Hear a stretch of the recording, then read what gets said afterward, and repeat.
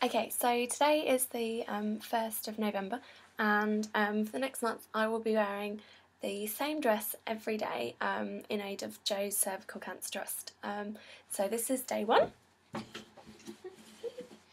Um, and yes, so the rules are um, I'm allowed to wash the dress and I uh, so I won't be smelling, and um, I'm allowed to kind of style it up differently every day. So please sponsor me, it's all for an amazing cause.